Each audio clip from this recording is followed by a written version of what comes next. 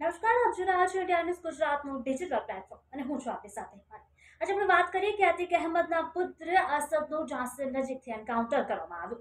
વાત કરીએ કે ઉમેશપાલ હત્યા કેસમાં વોન્ટેડ એવા ગેંગસ્ટર અતિકના પુત્ર અસદ અને શૂટર ગુલાબ મોહમ્મદનું યુબી પોલીસે એન્કાઉન્ટર કર્યું છે.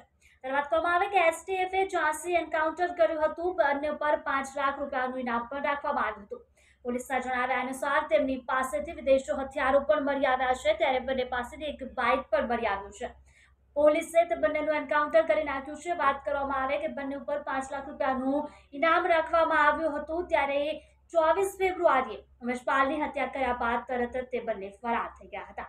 આ બનાવ ત્યારે બન્યો છે જ્યારે અતિક અહેમદ અને તેના ભાઈને બંનેને યુપી પોલીસ પ્રયાગરાજ લઈ જઈ ચૂકી છે. તે બંને માટે તેમની સુનાવણી હોય તેમના કેસની ત્યારે બંનેને પૂછપરછ માટે બસોથી પણ વધારે પ્રશ્નો પોલીસ દ્વારા તૈયાર કરી લેવામાં આવ્યા છે. ત્યારે અતિકને ખબર પડી રહી છે કે તેના પુત્રનું બહાર એન્કાઉન્ટર કરી નાખવામાં આવ્યું છે. વાત કરવામાં આવે કે ઉમેશપાલ હત્યા કેસમાં આજે અતિકના પુત્ર ગેંગસ્ટર નિવાસનું એન્કાઉન્ટર કરવામાં આવ્યું. તેની પાસેથી હથિયારો મળી આવ્યા છે. તે વાત કરવામાં આવી કે પોલીસ દ્વારા બંને ઉપર પાંચ લાખનું ઇનામ પણ રાખવામાં આવ્યું હતું.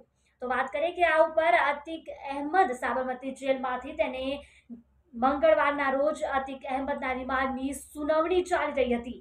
ત્યારે તેને વાત કરવામાં આવે કે લાવવા મંગળવારે તેને અહીં લાવવામાં આવ્યો. પ્રયાગરાજમાં ત્યારે જ્યારે આ ચાલી રહ્યું હતું તે વચ્ચે તેને ખબર રહી કે તેના પુત્ર અસદનું એન્કાઉન્ટર કરી નાખવામાં આવ્યું છે. ત્યારે આ ઉપર ઉમેશપાલ હત્યા કેસમાં પોલીસ બંનેની પૂછપરછ કરી રહી હતી. આ માટે પોલીસે બસોથી પણ વધારે પ્રશ્નોની યાદી પણ તૈયાર કરી છે.